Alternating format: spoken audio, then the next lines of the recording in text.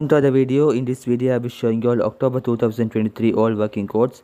So guys these are not new codes but are still working in october 2023 you can redeem this codes if you haven't redeemed it.